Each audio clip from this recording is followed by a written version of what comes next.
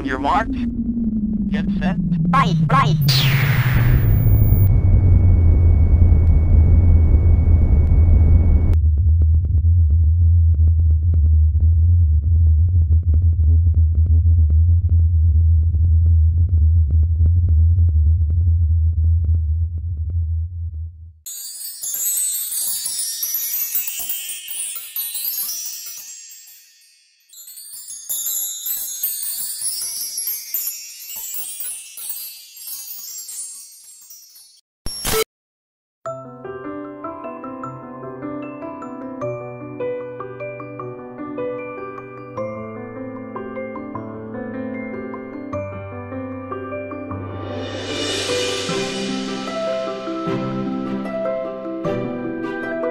you